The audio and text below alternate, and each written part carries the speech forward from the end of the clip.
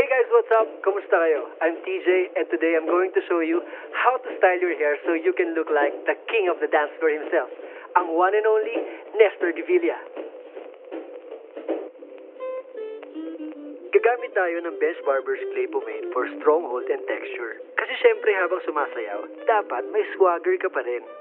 Before applying, rub muna sa hands natin para uminit. Pag ina-apply, I like to make sure na evenly coated yung hair ko.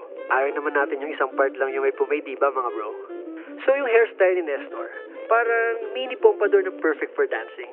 Kahit todo hataw na siya, di nagugulo buhok niya. Gwapo pa rin siya at any angle. Kaya siguro after nito, aangat palalo ang dance moves ko. Ano? Tapos, see? Easy as 1, 2, 3. The Nestor de Villa look, styled with Beige Barbers Clay Pomade.